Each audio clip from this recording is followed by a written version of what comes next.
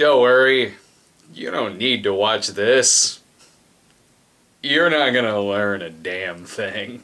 Gone are the costumes and the for the last time your lame dad sketches and mostly what we have in part two is showing these artists sing about Satan so that means they're bad.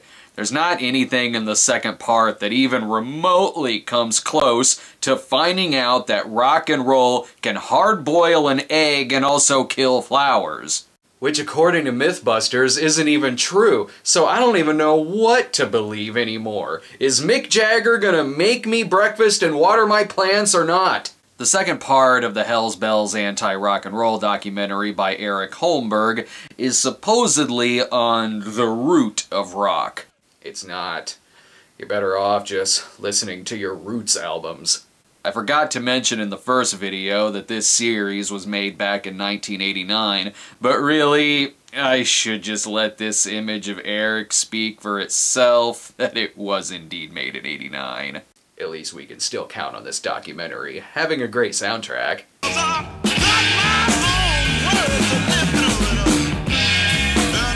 Uh, wait a minute, that's neither the roots or the grassroots.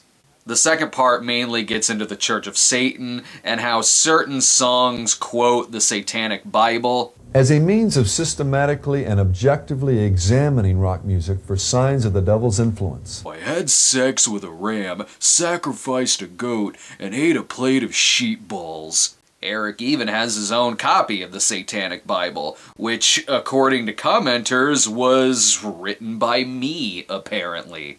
Eric doesn't even like the fact that Anton LaVey has appeared in movies. Even playing the role of the devil in films like Rosemary's Baby and Invocation of My Demon Brother. Except he wasn't in Rosemary's Baby. You're thinking of The Devil's Rain, and you're really not gonna like the fact that not only do I have a vinyl collection, but also one that's got music from The Exorcist on it. Where else can I get one album that not only features music from Serpico, but also Jonathan Livingston Seagull?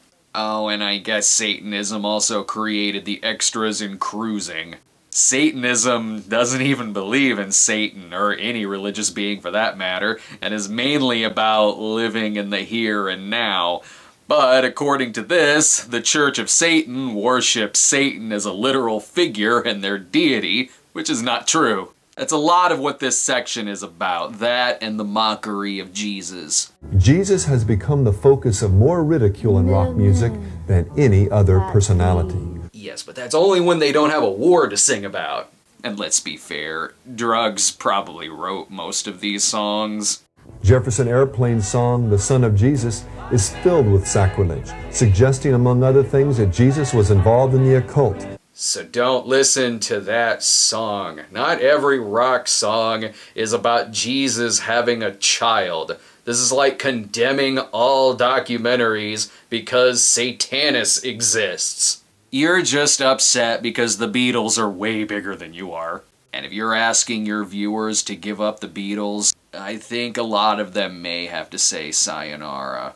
Hell, even these people probably duct tape their Beatles albums together five minutes after this. But abases the Son of God by drawing a comparison between Jesus, JFK, Bob Dylan, Hindu mantras, and the Beatles.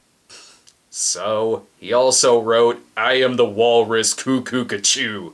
And for someone who doesn't like subliminal messaging, this documentary sure uses a lot of it. These examples taken together make it obvious that Lennon's infamous quote about Christ meant a lot more than just a commentary on the unnatural adulation given to the Beatles. If I show Bob Dylan and Elvis in here, it'll make it look like they all think the same thing. But Eric would probably like the Christian Elvis albums.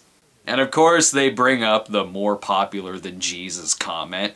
Dude, even the Vatican let that shit go. Take a hint. But really, this is all about occult expansion. Virtually dozens of groups openly sing about wickedness that until recently could not be found outside of occult bookstores. Until recently, you started out mentioning things from the 60s and early 70s. I really hope this whole thing ends with Eric saying, you know, maybe this music just isn't made for me. I should probably just listen to the newsboys instead. But I think I may know why he's taking things so personally. The bottom portion of this album, Blasphemy in the UK, is not shown because it features male genitalia. And since this is obviously Eric on the cover, he takes great offense to not being painted with the biggest penis imaginable. Oh, and because they mock the Last Supper too. Graceland renames the Last Supper the first snack and pictorially suggests that the menu included a prostitute. You know, they're probably all doing that just to get a rise out of people like you. I think it's working. I thought this was called the root of rock. I'm not seeing the roots of rock at all. I'm seeing someone telling me that I should be throwing my Classics 4 albums away because some other band has demons on the cover. Again, this documentary is doing a great job of introducing young people to some bands that they wouldn't have heard of otherwise. Much like Crucifixion, this documentary has some deep cuts. And with all this talk of these bands committing the sin of mockery, given that God is clearly George Burns, I think he has a bigger sense of humor than you give him credit for. But then Eric keeps pulling more stuff out of his mullet. Coven also renounces the work accomplished through the crucifixion. Anton LaVey himself would have been proud to have penned the lyrics of Burn the Cross. You don't know that. I thought you were just dealing in facts. That's what you said at the beginning of this. And I think you're getting distracted. This heresy, known as universalism, has become extremely popular of late. What does that have to do with the roots of rock and roll? Get to Rock being created by Johnny Johnston after going to a Bill Haley and his Comets concert. Look, I'm willing to go along with any piece of fiction at this point. The Onion does a more realistic job at documenting music. And I'm failing to see the problem here. The inside of this album by Earth, Wind, and Fire shows various religious symbols Christian, mixed in with symbols for Hinduism, Buddhism, and the occult. Oh no! Coexisting with each other and acknowledging other religions! Huh! Blasphemy! Here's another album he doesn't like, largely for expressing togetherness while simultaneously looking like Eric Holmberg. Slander.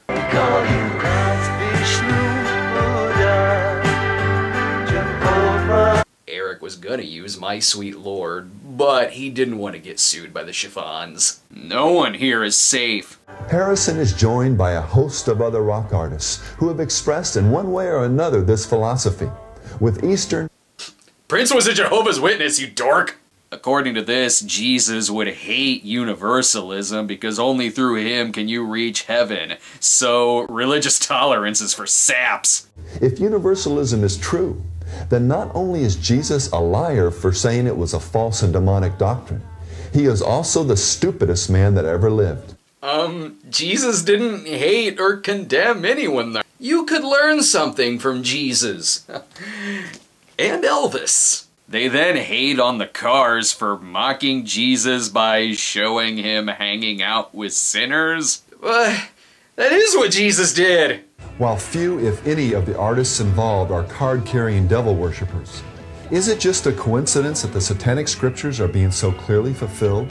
No, I'm sure it's not a coincidence. I'm sure that Ric Ocasek was sent here to bring us all to hell in a handbasket.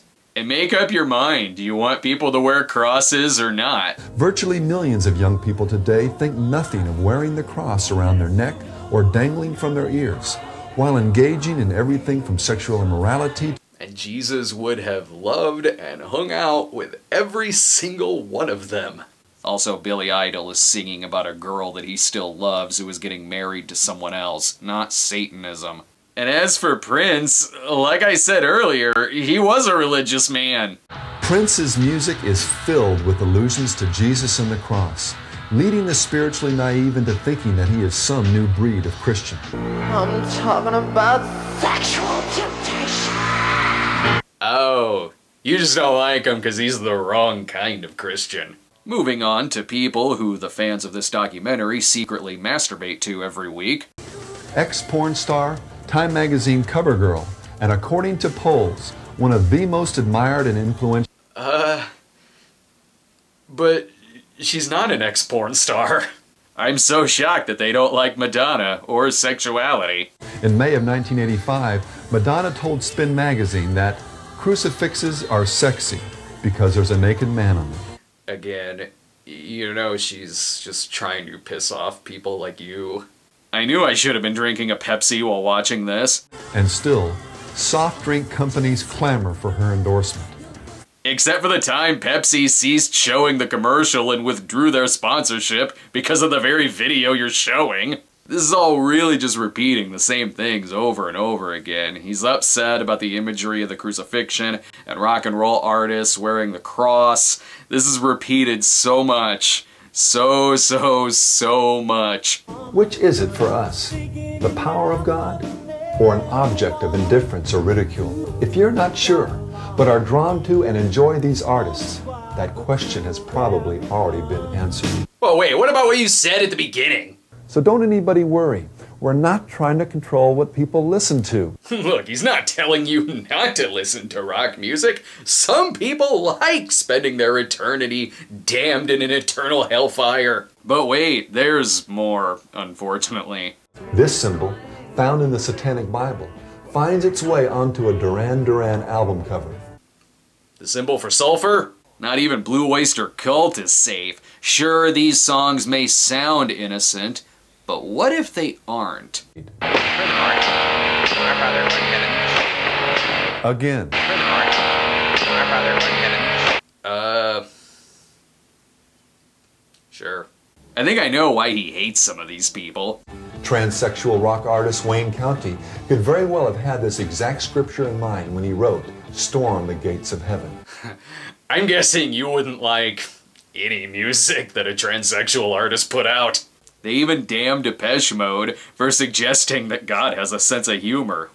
Burn your Depeche Mode albums at once. Our God is a square God. Dear God by XTC is brought up, and it's a song that was so controversial it caused someone to send a bomb threat to a radio station. So, stop throwing stones, movie. Now it's mainly about not liking music that even remotely questions religion. Just don't listen to these particular songs. Rock and roll has a pretty wide variety of topics. Hell, it brings up Missionary Man, which is a song about how Annie Lennox dabbled in the Hare Krishna after being married to one.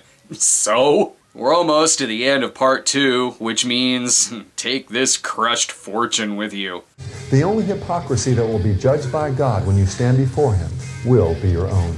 Don't cop out and try to hide behind someone else's sin. It doesn't work.